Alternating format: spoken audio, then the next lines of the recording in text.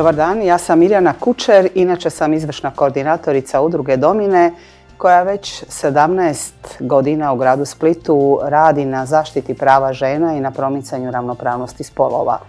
U tih 17 godina e, fokusirane smo bile na politiku koja se provodi na lokalnoj razini, dakle u, gradu Splitu, ali i globalno. Sve ono što je definirano kao ravnopravnost spolova sa pekinčkom platformom zapravo je dio rada udruge Domine. Bilo da se radi o tome da je više žena u politici, da je e, položaj žena na tržištu rada osnažen, da su žene prevenirane, odnosno zaštićene od nasilja, e, sve su to područja da su ekonomski osnažene, sve su to područja kojima se Domine bave. Tijekom tih 17 godina, naravno od 2000. do 2015. pa poslije od 2015. kada je donesena i Agenda 2020, odnosno novi e, ciljevi održivog razvoja, domine rade na promicanju samoga načela, kako se to kaže u Hrvatskoj, ravnopravnosti spolova, odnosno u posljednje vrijeme kažemo rodne ravnopravnosti. Što to znači? Znači da smo od samog početka zagovarale uspostavu takozvanih direktnih mjera odnosno uspostavu povjerenstava za ravnopravnost spolova koje bi pratile e, ono što e, grad radi da bi e, postala vidljivija ta uravnotežena ili manje uravnotežena zastupljenost žena i muškaraca u javnom životu. A čak smo radile i analizu e, gradskog proračuna, odnosno gradskih javnih politika, kako bismo dobile odgovore na to da li je grad Split e, zapravo prijatelj e, ravnopravnosti spolova, što to je bilo jedno istraživanje prije nekih deseta godina koje je pokazalo unatoč tome što nije dovoljno razvijena svijest o tome da postoji koncept promicanja ravnopravnosti spolova, kao što nije dovoljno na ulicama grada prisutna ni svijest o tome da postoji nešto što se zove Agenda 2030, nešto što nam je zajednički globalni cilj kojem svim težimo e, ostvariti ga u, tom e, nekom navedenom razdoblju, ipak e, grad provodi politiku kroz neke svoje odluke, kroz neke svoje indirektne mjere i tekako vodi računa o položaju žena muškaraca u gradu. Mm, ja kao e, osoba na čelu organizacije koja okuplja trenutačno više od 60 članica, prije svega žena i članova, isto toliko volonterki i volontera, e, ne mogu reći da sam zadovoljna koliko je prepoznata ravnopravnost spolova, koliko se radi na njezinom promicanju, ali to ne znači da, e, da, da ćemo stati u zagovaranju ravnopravnosti. To ne znači da nismo uporni u tome da svakodnevno e, svraćamo pozornost, pa smo isto tako se, ja bih rekla, poprilično angažirali oko e, realizacije ovoga projekta, oko zagovaranja onoga što je bitno ne samo nama u Splitu, što je bitno drugim gradovima Europske unije, a to je rodni proračun. I to je u ovome trenutku zajednička tema čitavoj Europi, e, nasilje nad ženama i ratifikacija Istanbulske konvencije. E, dakle, e,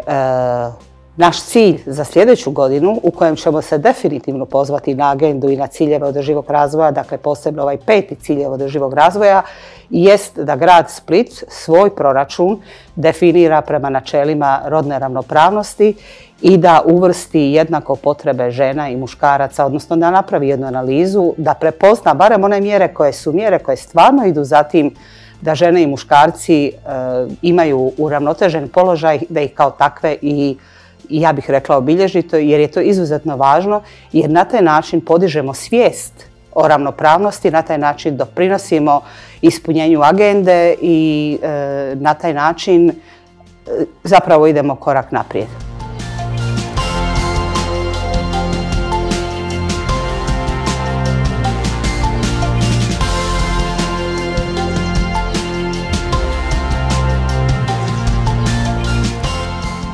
Zapravo, udruga Domine već e, treću godinu organizira ove krojačke i kreativne radionice za žene e, koje žele doći, e, bez obzira ili traže pomoć u dominama ili žele naučiti neke nove vještine.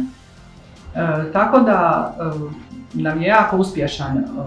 broj žena i svaka od njih zapravo napravi uz nekakvu moju, moju sugestiju a više sad ne znam više što bi rekla, uz sugestiju nekakve stvari, je li neka torba, je li nekakav jastuk, ali da to bude na neki način aplicirano, vezeno i da to bude ručni rad. Mi zapravo uz ove radionice, osim rada sa ženama, e,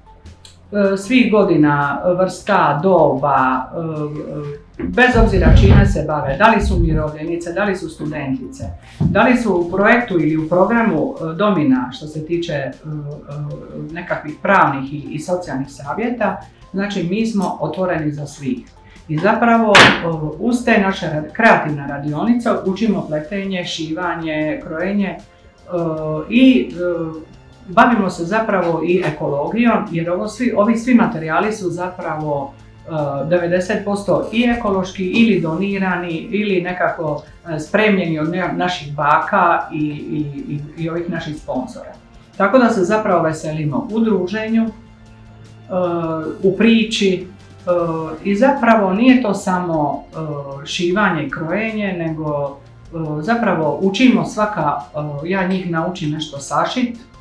vest, a ja od njih čujem neke lipe priče i tako lipo razgovaramo i družimo se.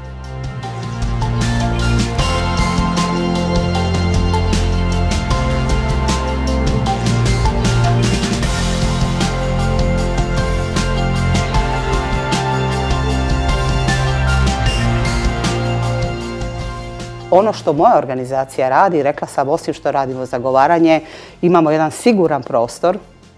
za žene u kojem one dobivaju prije svega za žene žrtve nasilja, ali i za ostale žrtve obiteljskog nasilja i svih drugih oblika diskriminacije. Dakle, dobivaju jednu direktnu potporu, e, bilo da je to pravna, bilo da je psihološka potpora, dobivaju jedan prostor e, za ekonomsko osnaživanje kroz različite programe cjeloživotnog učenja, i naravno da to sve radimo na principima i socijalnog uključivanja, na principima prihvaćanja različitosti, e, da isto tako e, ono što su naši ciljevi kroz pet programa radimo na osnaživanju žena u politici, na osnaživanju žena u ekonomiji,